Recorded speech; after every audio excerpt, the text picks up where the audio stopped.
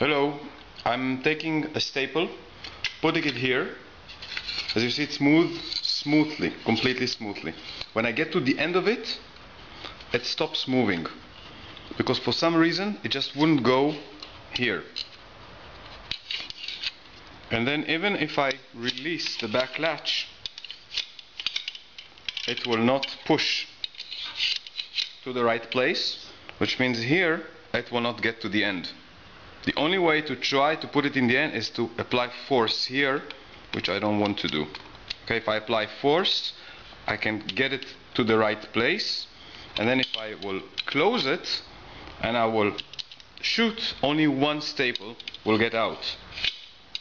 Because the latch will not be able to push further the other ones.